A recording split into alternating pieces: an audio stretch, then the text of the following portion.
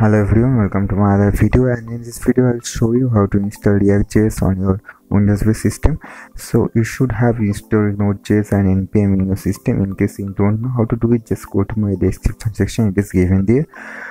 And you have to open the browser and open the link if you uh, haven't installed Node.js or npm in your system. Uh, just uh, install this uh, from this website and so after installing uh, to check if you have installed node.js or not. Go to command prompt and just write uh, in the command prompt just write node.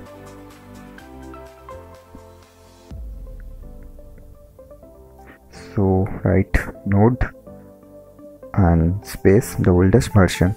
And you can see that the version of 10.6.0 is installed successfully. Now uh, you have to check the version of npm so write npm space double dash version. And you can see that the npm version of 6.1.0 is installed here. So now mm, uh, the primary thing is done. And now uh, okay one more thing you have to install that uh, create react app. You have to install. So for this just uh, open the command prompt again and write here npm space install space create uh, sorry uh, dash g space create dash react dash app and press enter. And it will take some time depending on your RAM memory and also the internet connection speed. So wait for some time and now it's done. Now go back to your folder where you, you have to create your react project.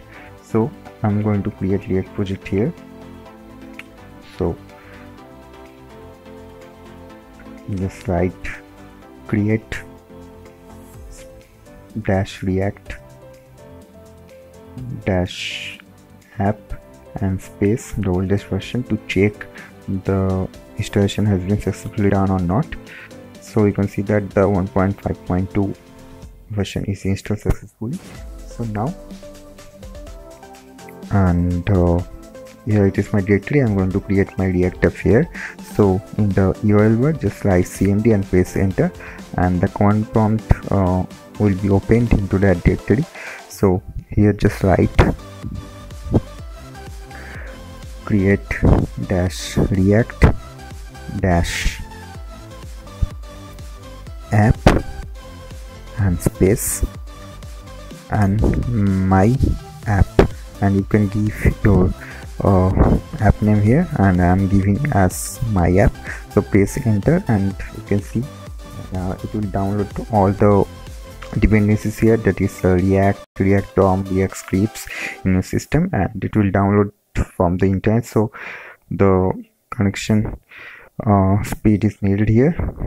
Uh, so after uh, installing it in your system you can see uh, it will say to run the cd space my app. And if you enter this directory you can see that the public and source folders are there. And in the source folder you can see the all the jsx file is there. And in the public directory the index home html file is there so now open the terminal again. Now uh, enter to that directory uh, that is your app name. So write cd space my app and inside the my app directory just write npm space start. Okay. So you have to open uh, wait for some time and your server will be loaded automatically. So click on the allow access button. And okay. So you can see that the localhost uh, at the 3000 port address has been started successfully. And here it is your react project. And you can see that the two alternative addresses there for opening your react project and you can see uh, even also run the react project inside your browser by opening this link also. So i'm going to write this link inside my browser. So write 192.168 dot and have to see that again and dot 56 so write it here dot 1 and the port address is 3000 I guess. Okay.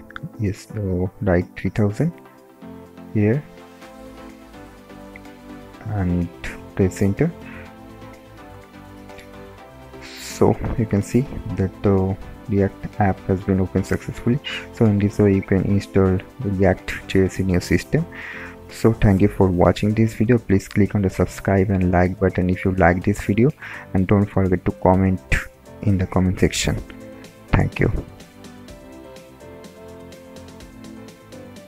If you are a football fan don't forget to subscribe the daily fcb channel. The link is in my description section. Thank you